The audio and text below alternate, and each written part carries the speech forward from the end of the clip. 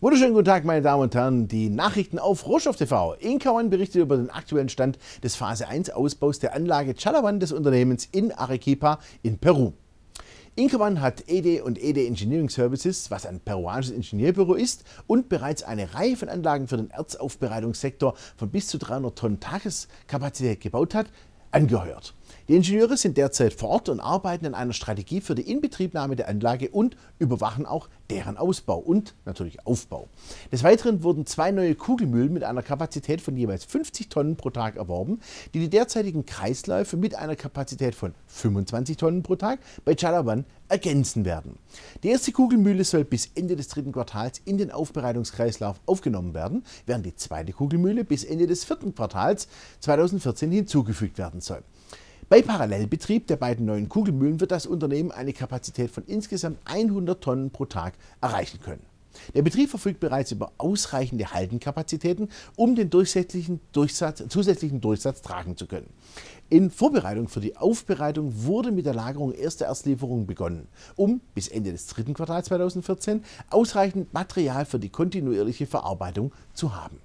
Um eine optimale Erzversorgung nach dem Ausbau zu erreichen, arbeitet Inkawan an weiteren Erzlieferverträgen mit mehreren kleineren Bergbaubetrieben, deren Material dem vom Unternehmen angestrebten Goldgehalt von rund 0,8 Unzen Gold pro Tonne, sprich rund 25 Gramm Gold pro Tonne entspricht oder diesen Wert auch noch übersteigt. Neben der Kapazitätserweiterung von Chalaban auf 100 Tonnen pro Tag ist das Unternehmen derzeit im Begriff, die Wirtschaftlichkeit, den Cashflow-Bedarf und die Genehmigungsauflagen für einen Ausbau seiner Anlage auf 250 Tonnen pro Tag zu prüfen um so den zukünftigen Erzaufbereitungsanforderungen der Region besser gerecht zu werden und wachsende Mittelzuflüsse zu erzielen. Das Unternehmen gab ebenfalls den aktuellen Stand auf Corisona bekannt. Inkaman sendete eine Haufenprobe mit Erzgangmaterial aus Corisona zur Testaufbereitung an die Anlage in Chala. Die Probe bestand aus 28,5 Tonnen im Trockengewicht und wurde aus drei Vortrieben innerhalb der Erzgangstruktur Los Angeles, was Erzgang B ist, entnommen.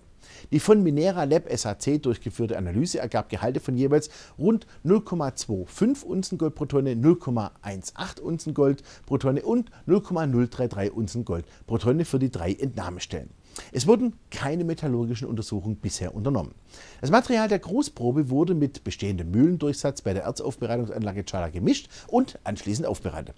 Angesichts der noch unbeständigen Goldgehalte, die sich im Rahmen des Haufenprobenprogramms ergeben haben, hat Inkawan beschlossen, die Arbeiten beim Konzessionsgebiet La Corizona vorübergehend einzustellen. Das Unternehmen ist der Ansicht, dass es mit dem Ausbau der Aufbereitungsanlage Chalawan, bei der im Rahmen eines ersten Testaufbereitungsprogramms ein über Verträge mit kleineren Bergbaubetrieben gesicherter Mühlendurchsatz mit einem Durchschnittsgehalt von 0,5 Unzen Gold pro Tonne verarbeitet wurde, größeren Wert für seine Aktionäre generieren kann.